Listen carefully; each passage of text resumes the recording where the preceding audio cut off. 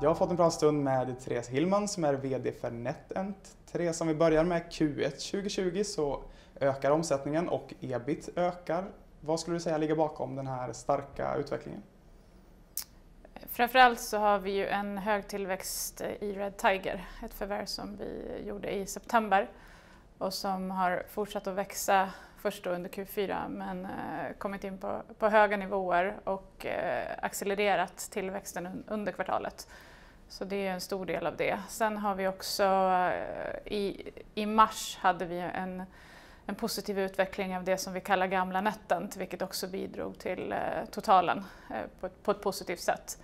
Och sen har vi också Netent Live som har gått från klarhet till klarhet som har förstärkt intäkterna och, och från januari till februari och sen från februari till mars.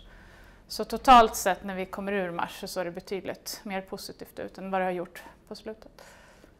Och I samband med Q1-rapporten så kommenterar ni att ni inte hade sett eh, att den rådande marknadssituationen med corona och allt vad det innebär hade påverkat den finansiella ställningen speciellt mycket då. Mm. Hur ser det ut idag skulle du säga? Just då så var det mycket oro kring de negativa effekterna så vi gick ut och sa mycket om att vi, vi fokuserade på att säkerställa leveranser från bolaget och att det handlar mycket om det operativa för oss. Vi såg ju ingenting på, på intäkterna som var negativt utan snarare tidigt i vissa marknader eventuellt en positiv eh, påverkan från att eh, många människor idag spenderar mycket mer tid hemma. Och eh, det är ju vad vi också kommunicerade sen att sista veckan i mars var stark för oss eh, och det har också fortsatt in då fram till eh, ja, i, nästan i slutet av, av, april då när vi rapporterade. Så för oss har vi sett en, eh, en positiv påverkan, framförallt i de länder där de som har haft mest restriktioner om att man ska hålla sig hemma. Ni nämner ju också att, eh, att ni ser en potential att det här kan snabba på från offline till online och specifikt i USA då nämner ni, mm. är det här någonting ni har märkt av? Ja, och det är det som är det intressanta när man tittar i siffrorna ordentligt. Att eh, mognadsgraden i marknaderna, eh, offline-delen eh, av totalen, om den är högre så har vi sett en större tillväxt. Den svenska marknaden är ju väldigt penetrerad när det kommer till online och eh, de flesta har, spelare har idag ett konto hos ett on onlinebolag. Medan så ser det inte ut i några av de andra marknaderna vi är i. Framförallt i USA vill jag lyfta fram för, för Netent. Så positionen på den marknaden och vad vi har sett som en effekt av corona har ju varit väldigt positiv. Och vi ser ett stort inflöde, inflöde av nya, nya spelare och det är det som utmärker sig i de marknaderna. Även Italien har vi sett det och, och, och, och Tyskland. Och det är marknader med högre offline-del. Så det tror jag helt klart att det kommer påverka på lång sikt också. Tillbaka lite till Red Tiger som du varit inne och nämnt. Ni mm. på, påbörjade full integration av det här under kvartalet. Mm. Hur är tanken att det här kommer påverka er verksamhet på lite längre sikt? Redan under förvärvet så såg vi att det fanns en otrolig potential eh, i att jobba tajtare tillsammans. Och det vi nu såg efter att ha jobbat tillsammans ungefär 4-5 månader att vid en full integration så finns det ännu mer möjligheter. Vi byggde ett spel tillsammans eh, redan under hösten som lanserades under Q1 som har blivit en topp 3-release från Netent någonsin. Och när man tänker på fler sådana produkter och vad vi skulle kunna bygga tillsammans så är det klart att det börjar kittla lite. Tänk om vi kunde vara ett och samma bolag.